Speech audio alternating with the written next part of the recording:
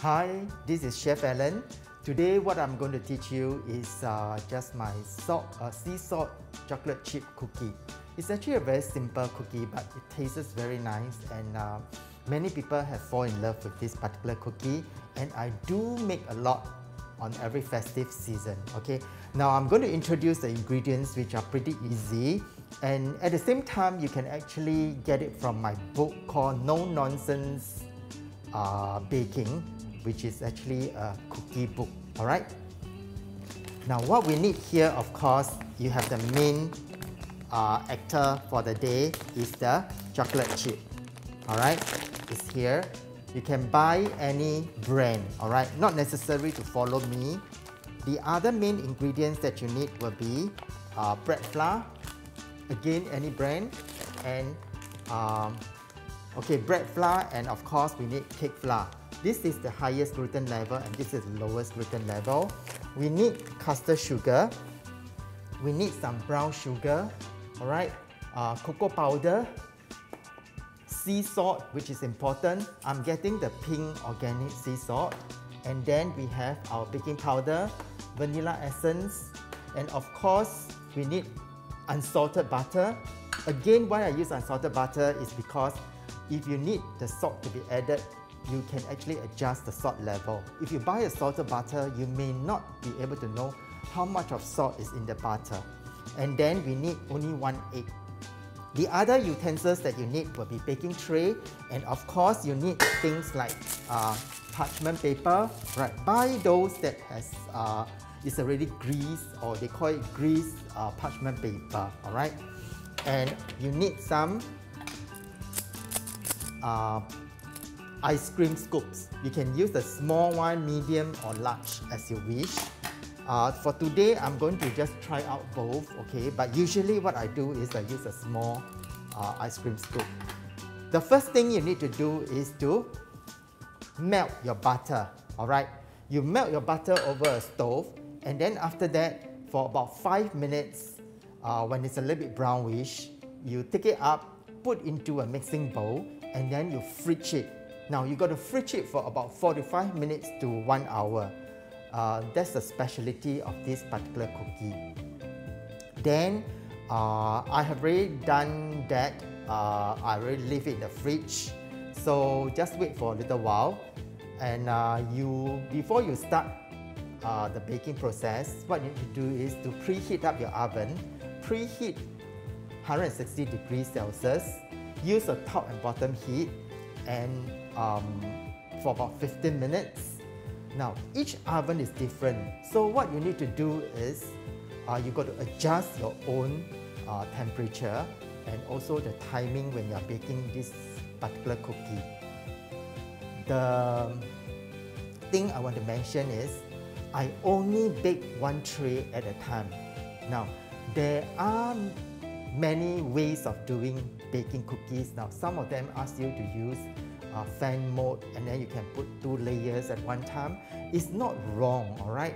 But I find that baking one tray is much easier because I don't have to take out the tray and then uh, the temperature will be lowered and so forth. That's the reason why I bake one tray at a time and at the lowest level of your oven.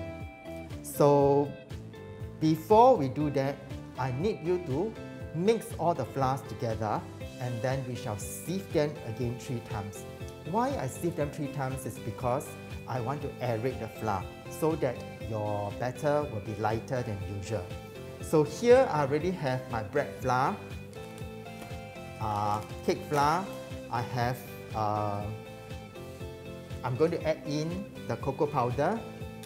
Now the cocoa powder I will need about uh, 1 tablespoon. So each teaspoon is actually 5 gram. So I'll need 3 of them. Alright? Now, when you're using home uh, spoon, usually what you do is when you're measuring, please do it in a heapful like this, okay? But if you are using the real measuring spoon, then I suggest you have to usually level them, okay? That is the difference because you can actually see there's a depth difference. So what I'm going to do is, I'm going to sift this three times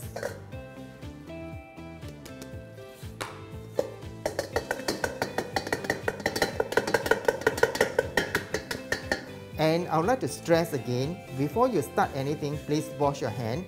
That is for, um, you know, safety reasons. And uh, you don't want any of your things to be contaminated with your dirty hands. So usually wash it first before you do anything else.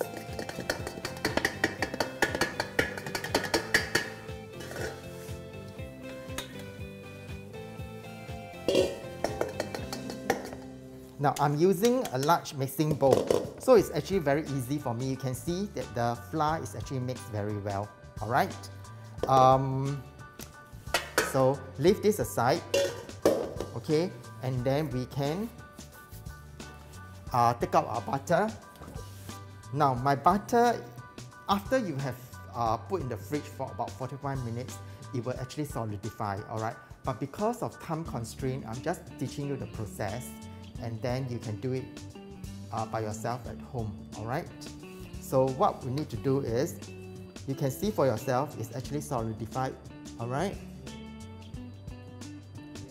Alright, so put it into your mixing bowl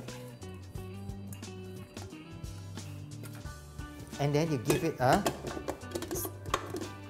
a stir. Give it a good stir. Just let it roll a while and then we can add in our uh, sugar. That is the brown sugar and the caster sugar. You go on low speed, alright, and then you add in all your sugar.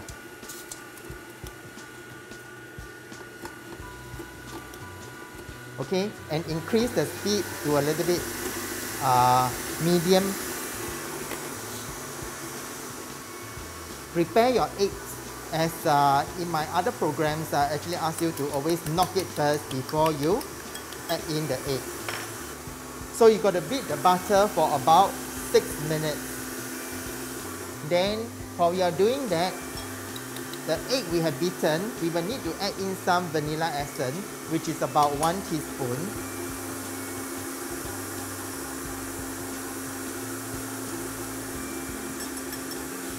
You mix it in with the egg and then give it a stir.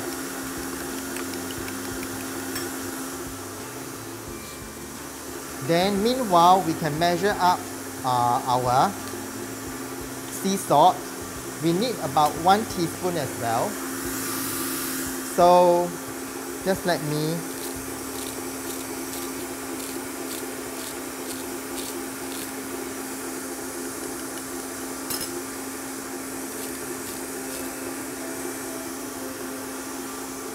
Now you may want to scrub it down.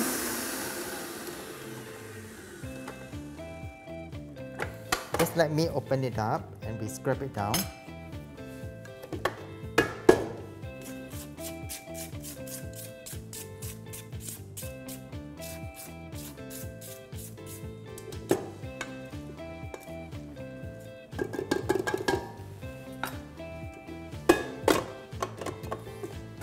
Okay, so we have mixed for about 6 minutes, alright. Then you go on low speed again. We add in our egg and vanilla essence. And you roll for about 20 seconds.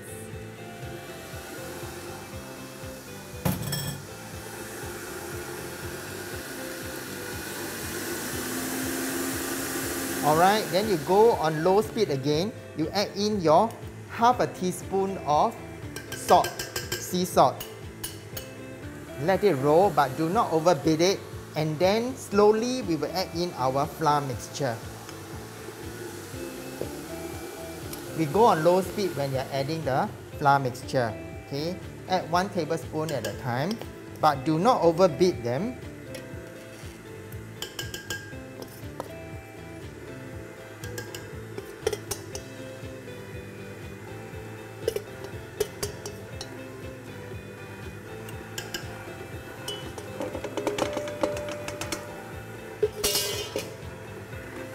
okay and what we need to do is we add in all our chocolate chips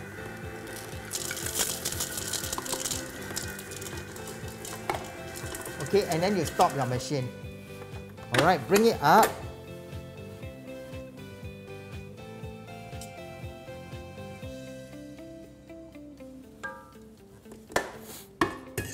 Okay, you can see the mixture. Can you see the mixture? Okay, so just give it a good mix up. Alright, some of the flours are still there, so just use your spatula and then just mix it up. We have to chill this for about 20 to 30 minutes. What we're going to do, we are going to cling wrap it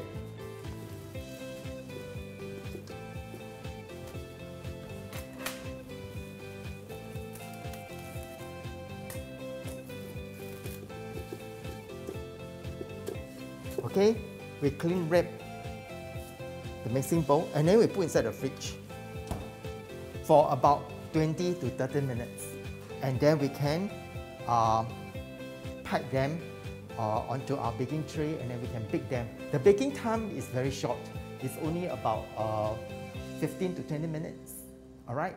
But they are tasty after that. Okay, so after chilling the batter for the cookie for about 30 minutes is ready. What I need to use is just an ice cream scoop.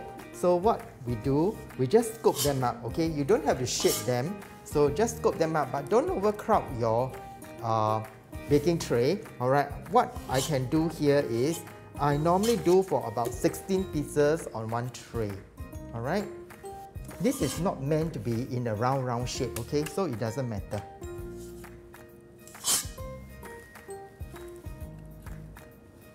There you go. So it's as simple as that. And then what you need to do before you put into your oven, preheated oven, just sprinkle some more salt on top. Just a little. So it become your salted chocolate chip cookie. Alright, that's it. And then we put inside the oven and we bake for about 20 minutes. That would be uh, good enough. But of course, after 15 minutes, please check. And the other thing is, um, as I said, the oven, your oven and my oven are different.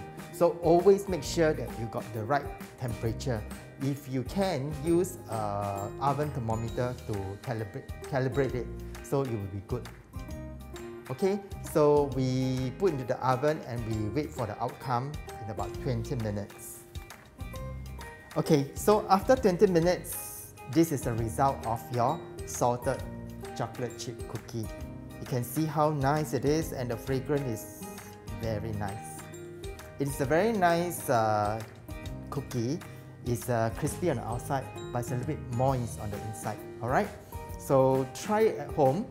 And uh, again, the recipe will be on the Facebook of Tampines West CC. Alright, okay? So what you need to do, once you remove from the oven, just let it cool down on the wire rack for about 15 minutes. And then you can store in an airtight container and uh, you can keep it for about two weeks. Alright? The other thing will be if you like saltish. Alright, so what you need to do is once you have already placed them on the baking tray, you sprinkle more salt on it. But um, I like a little not so saltish. So I just give it a sprinkle. That's all I do. Okay, so it's your preference. Anyway, this is the salted chocolate chip cookie and uh, I hope you have enjoyed what I teach you today. Alright, thank you and uh, good day. Bye-bye.